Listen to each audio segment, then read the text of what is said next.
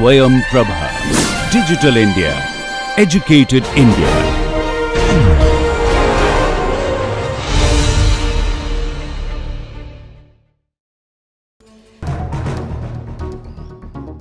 Gnanam Paramam Dheyam. Knowledge is supreme.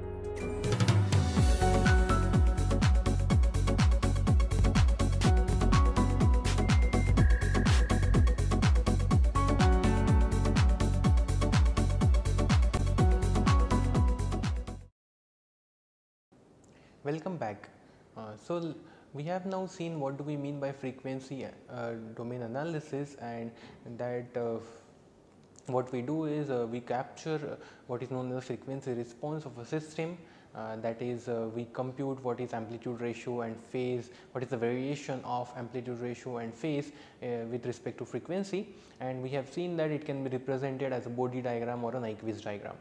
So, let us now see how do we use this information uh, to compute or to assess the stability of a feedback system. So, we will see uh, stability assessment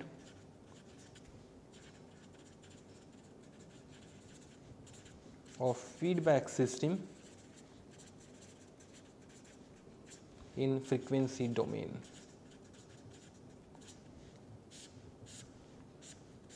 So, in order to do that uh, we will consider one thought experiment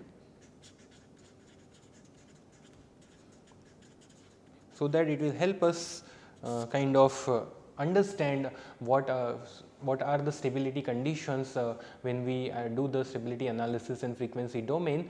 Uh, and there are in fact we are going to see two stability criterias and both these are sort of evident from this simple thought experiment. So, let us consider an imaginary experiment of a feedback system. So, let us start with the feedback system. Uh, this is our process GP this is the disturbance transfer function. This gives you output y. Then you have a measurement. Then you have this measured output. Uh, if we go back from here you have the valve transfer function. Before that we have the controller transfer function and this is error and error is the difference between the measured value and the set value. So, I have deliberately uh, not shown this particular link uh, because in this uh, thought experiment uh, what we are going to consider uh, is that uh, we are going to see uh, we are going to inject sinusoidal input here. So, we are going to say the set point trajectory is a sinusoid input. So, let us say this is a sine omega t we are going to input a sinusoid here uh, that kind of brings in why we are in the frequency domain and then accordingly uh, we monitor how does uh, ym look like. So, and uh, in the sort of even though we are assessing the stability of a feedback system uh, the analysis or the thought experiment actually starts with the open loop that we have opened this loop uh, we are not going to feedback the measured value we are just going to assess the feedback value. So, uh, if you see uh, what we have is uh, in this case uh, the error is y set minus ym here ym is not supplied so it is considered to be 0 which is equal to a sine omega t. So, your error is a sine omega t and uh, if you look at what is the transfer function between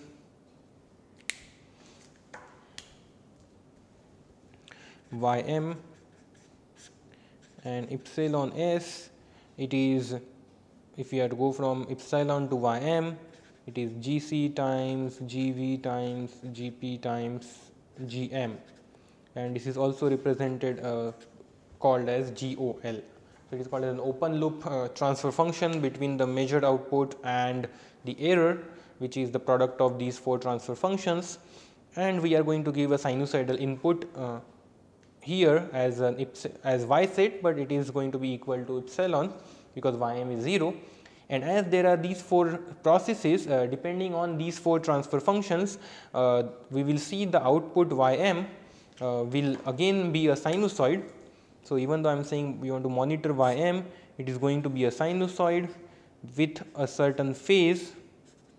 So, it will have a certain phase and it will have a certain amplitude ratio. So, this will be amplitude ratio times A because if this is A. So, uh, we have already seen uh, how do we compute these two. So, we know that uh, if this is the input sinusoid and we are interested in finding the output, uh, then this AR and phi uh, would be obtained by using the frequency response of this particular transfer function which is the product of these four transfer functions. So, depending on the frequency uh, these phase as well as amplitude ratios would change. So, uh, in this particular system uh, let us try to see that consider a frequency. so, we will consider a frequency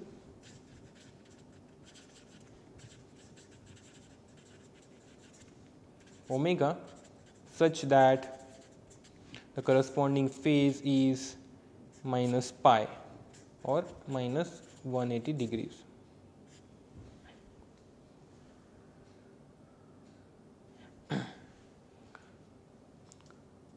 So, uh, in that case uh, if I say y m will be equal to uh, whatever is the amplitude ratio times a into sine of omega t plus phi omega t minus pi so, it is going to be equal to minus a times a r sine of omega t. So, what we are seeing is, uh, so this y m is inverted form of y set because it is minus, uh, and we have some magnification or reduction in terms of amplitude, but if you look at overall signal uh, the y so, this is equal to y set. So, this is actually A r minus A r times y set. That is why I said it is inverted because there is a minus sign, there is a gain of A r or otherwise it looks very much like y set. So, now uh, coming back to our thought experiment, now let us see that uh, uh, we have this particular frequency uh, omega at which phase is minus pi. So, that this is minus of A r times y set and at that uh, whenever you have that you we have found that frequency uh, you now close the loop. So, at that particular point uh, we are going to close the loop and we are going to make it 0. So, what we are going to do is we are going to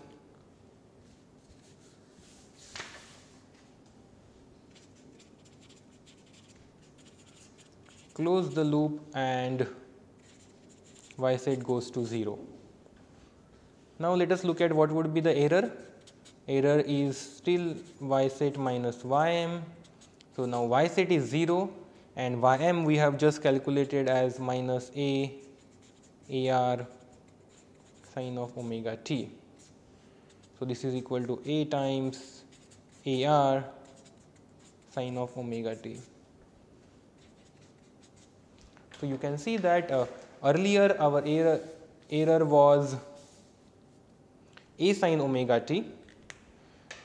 Now, it looks very similar to that even though the set point is not there uh, we have uh, still have error is a sin omega t which is multiplied by a r. So, let us consider that if a r is equal to 1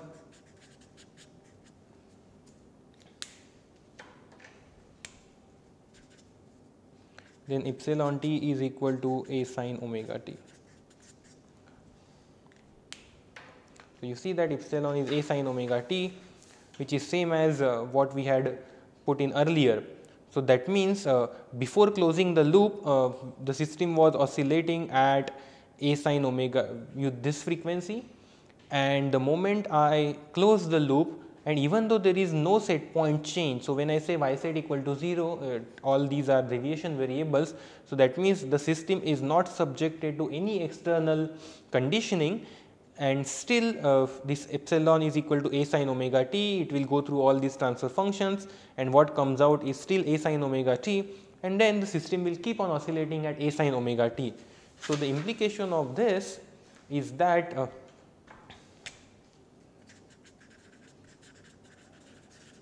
even though y set is equal to 0, system continues to oscillate.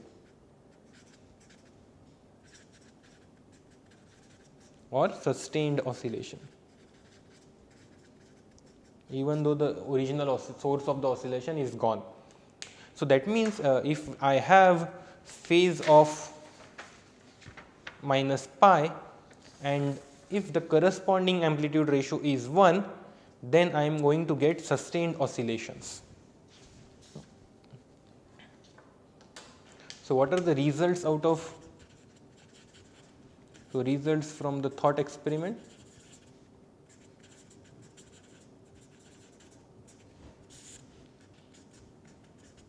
If phase is equal to minus pi and corresponding AR equal to 1, we get sustained oscillations. And if you recall from the previous definitions of stability, this is as good as marginal stability and it typically represents the limit of stability. Now, let us consider if for the same phi equal to pi AR is greater than 1. So, we go back to this same figure. we have closed uh, before closing the loop uh, we know that this y m or this recirculating error is going to be a times AR sine of omega t. So, what does that mean? Uh, we close the loop, we made the y set to be 0 and if AR is greater than 1, if I put in a sine omega t, what I get is something which is more than a sine omega t, then that goes into this next cycle, what we will get is even higher than that. So, every successive cycle uh,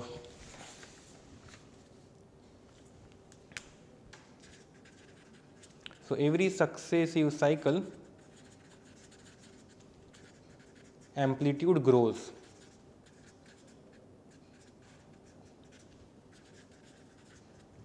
Because you will get AR raised to n. so, the amplitude will keep on becoming A AR raised to n.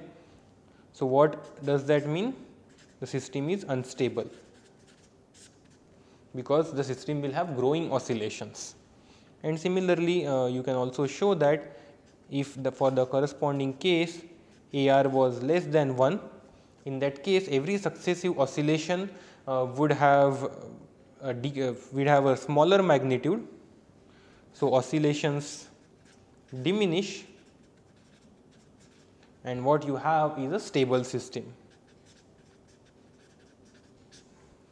So, simply by uh, looking at uh, what happens when your phase is minus pi uh, through this thought experiment we can make a claim that if at this particular frequency if amplitude ratio is 1 the system has a stability limit is at the stability limit. If that corresponding amplitude ratio is greater than 1 the closed loop system is unstable and if that phi uh, if that corresponding amplitude ratio is less than 1 then you have an unstable when you have a stable system. So, what all we need to do is uh, in order to assess the stability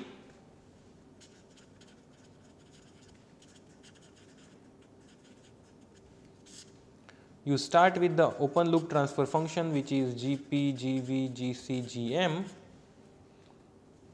then you compute its amplitude ratio and phi which is the amplitude of GOL and angle of GOL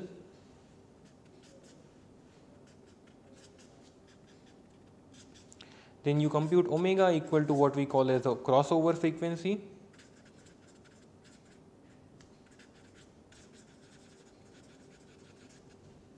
such that phi of omega crossover is equal to minus pi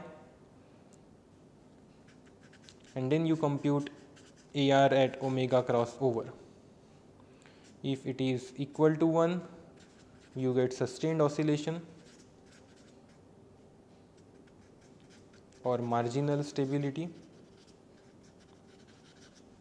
If it is less than 1, it is stable. If it is greater than 1, unstable. So, this principle we will be using uh, in order to formulate uh, two stability criteria in frequency domain. Uh, the first of which uh, is known as a Bode stability criteria. so, which is uh, presented uh, here. So, you can see that in the Bode's stability criteria, it starts with an assumption that if AR with amplitude ratio and phi are the monotonous functions of frequency which are typically most of the cases is most of the times is the case, the feedback system is unstable if the amplitude ratio at the crossover frequency uh, which is when phase is equal to minus pi or minus 180 degree is greater than 1. So, that is the Bode stability criteria and in order to compute that uh, we need this GOL which is GP, GV, GC and GM. So, it follows directly from the thought experiment uh, that you compute the frequency at which omega uh, at which phi is minus pi and compute the corresponding amplitude ratio. If it is greater than 1 system is unstable. If it is less than 1 it will be stable. So, here it is represented as a Bode diagram uh, for a stable system. Uh, you can see that uh, at this particular frequency uh, you would see that the phase is minus pi and then you move up into the first figure you compute what is the corresponding AR uh, this is a MATLAB plot. Uh, so, in MATLAB uh, AR is given as a, in a decibel unit. so, it is 20 log of amplitude ratio. So, if amplitude ratio is equal to 1 this decibel will be equal to 0. So, as long as this uh, decibel value is uh, positive which means AR is greater than 1 uh, the system is unstable uh, here this decibel value is negative so the system is stable. So, uh, by you just naturally following from this thought experiment uh, what we have found is that using the Bode stability criteria all we need is compute the corresponding crossover frequency uh, and check the amplitude ratio. If it is greater than 1, system is unstable. Then we uh, so, the major assumption in the Bode's uh, stability criteria uh, is that uh, these AR and phi are monotonous functions of frequency. And by that uh, we mean as we keep on increasing omega from 0 to infinity, uh, AR and phi both change in the same direction and for a first order system, uh, second order system these normal transfer functions this is indeed the case for most of the time that AR and phi both will decrease like the, this figure. But in some cases uh, this condition is not satisfied. So, what do we do? So, in that case we have to look at a more uh, rigorous stability criteria which is given by Nyquist and that is why there are two diagrams one is uh, given for Bode and one for Nyquist.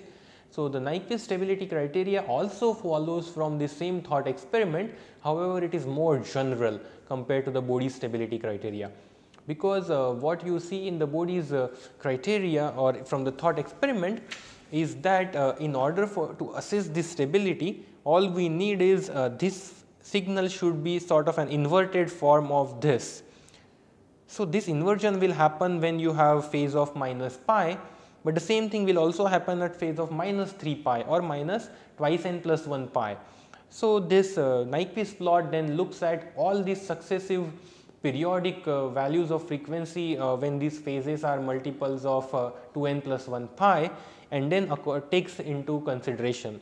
So, uh, if AR and phi are if AR particularly is not a monotonous function of uh, omega then uh, just satisfying this condition at uh, minus pi is not sufficient. You have to look at the condition at every successive 2n plus 1 pi and ensure that all those ARs are also less than 1. So, in the Nyquist condition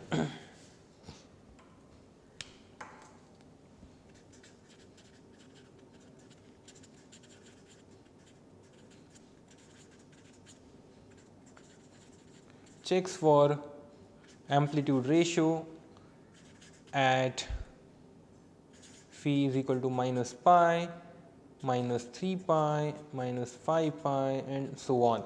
And it says that all these should be less than 1 to ensure stability. So, in a way it incorporates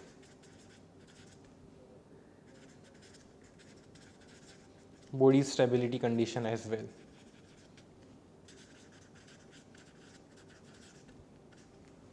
And the way this uh, stability condition is specified uh, is uh, using a Nyquist diagram.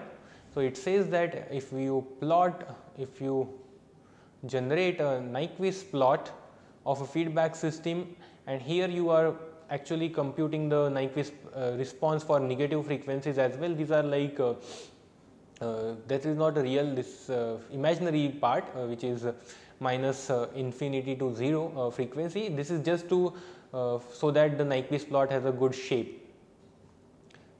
so, what you do is you start with you draw the Nyquist plot for all these frequencies and if it encircles uh, point minus 1 0 then the closed loop system is unstable. Uh, so, now uh, what is so special about this point minus 1 0? When I say minus 1 0 uh, this particular point minus 1 0 so minus 1 0 point it says uh, its amplitude ratio is uh, 1 and the phase is minus pi, minus 3 pi and so on. So, this represents uh, all these points at which uh, you are going to have this inversion of the signal and so therefore, if your Nyquist plot does not uh, if the Nyquist plot does not encircle this particular point uh, which means uh, we will have a stable response. So, here is a figure so, this particular figure shows this is the minus 1 0 point which is shown in red. So, this particular Nyquist plot uh, uh, has a multi here the AR is not a monotonous function of omega, but you can see that uh, minus 1 0 lies outside all this. So, it is a stable system whereas for this particular system this minus 1 0 point has been encircled uh, using this circle. So, it is going to be an unstable system. So, this is uh, the stability assessment in the frequency domain. So, now if we want to um, get some uh, results from this, uh, what we would see that for a first order process,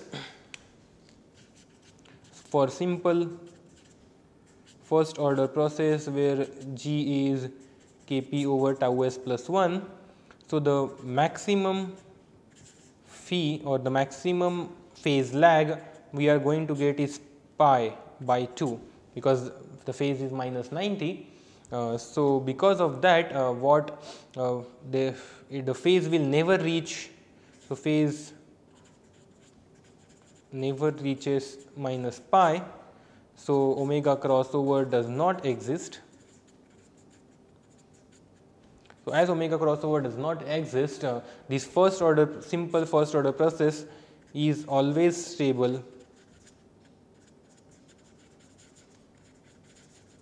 under P control because when you have a P control it is just going to add to the gain of the system. So, the phase it has no effect on the phase. Now, when we look at the simple second order process G is Kp over tau square S square plus twice zeta tau S plus 1 uh, what you will see is that the maximum phase lag is uh, pi at which omega tends to infinity and AR tends to 0. So, the omega crossover is actually an infinite frequency at which a second order system uh, will give you phase of minus pi and the corresponding AR is always 0. So, even the second order system is also always stable under P control. So, if you recall uh, the example which I had shown you as a 3 tanks in series because even if I would have considered single tank or 2 tanks in series uh, without any delay those systems will always be stable. So, only when you have any system which is higher than second order without a delay that will have some limitation in terms of the proportional controller gain. Any first or second order system will not have any finite uh, uh, omega crossover. But the case changes uh, when you have any delay.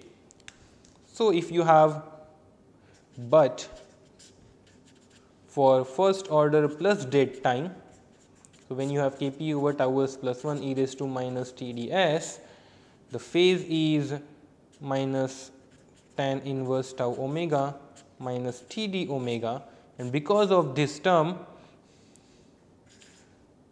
phi is equal to minus pi even for finite omega. So, omega crossover exists and is finite and therefore, you also have finite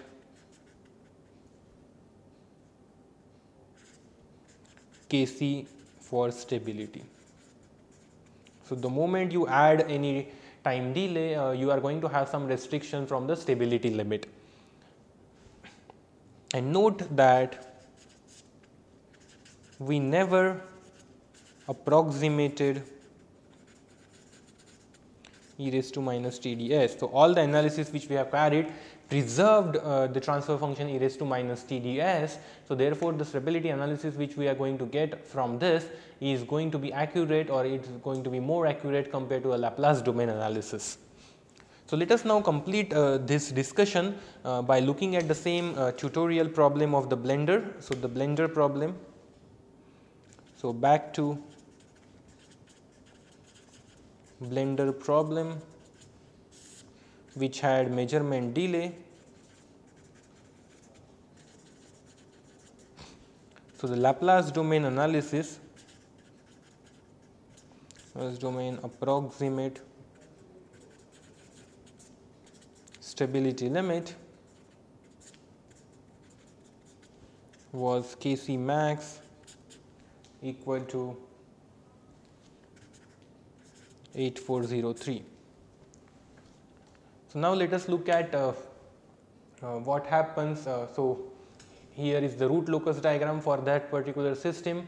Uh, when there is no measurement delay, it is a simple flat line, it's all the poles move towards negative infinity, it's all stable because it's a first order process. When we have a measurement delay and we approximate it by a Padé's approximation, you can see that uh, the root locus diagram does cut the imaginary axis at these two points when the gain is 8403. So, that was the stability limit computed by using Laplace domain analysis. When we move to the Nyquist plot and even though we consider any gain which is less than the stability limit which in this case is 8400, you will see that it is encircling the point minus 1 0. So, the frequency domain analysis is correctly pointing out that this particular uh, controller gain is unstable and uh, if we do the frequency domain analysis for this system, uh, what we will analyze uh, is that for frequency domain analysis, our GOL in that case is 8.33 10 raised to minus 4 over 3s plus 1.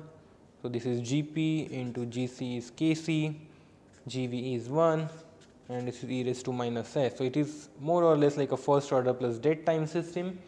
Uh, you can compute omega cross over such that phi is equal to minus pi. Uh, so, that omega cross over roughly comes out to be 1. 5 radians per whatever is the time unit and correspondingly if you equate and your AR is equal to 8.33 10 raised to minus 4 Kc over root of 1 plus 9 omega square. So, Kc max will be given uh, by at stability limit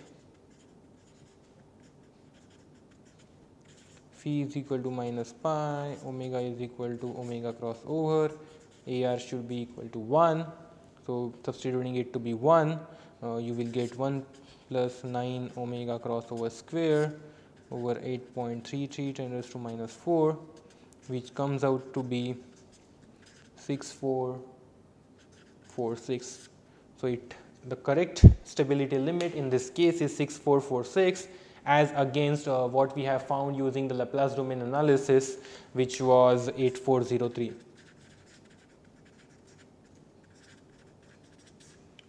So, if we use any gain between 6446 and 8403, the Laplace domain analysis is going to say that the system is stable, but the frequency domain analysis is going to say that the system is unstable.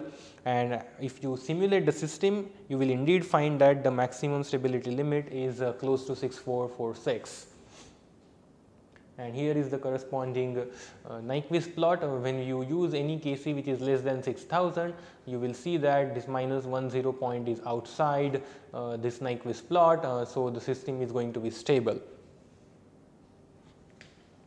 So, uh, we have now seen that uh, how do we accurately capture the stability analysis of systems where there is significant dead time and that we do by using a frequency domain analysis which will be like capturing the amplitude ratio and phase as a function of uh, omega and then finding out uh, typically the crossover frequency would suffice uh, the job uh, and then you compute what is the amplitude ratio at that particular cross frequency. If it is less than 1 system is stable and if it is greater than 1 the system is going to be unstable.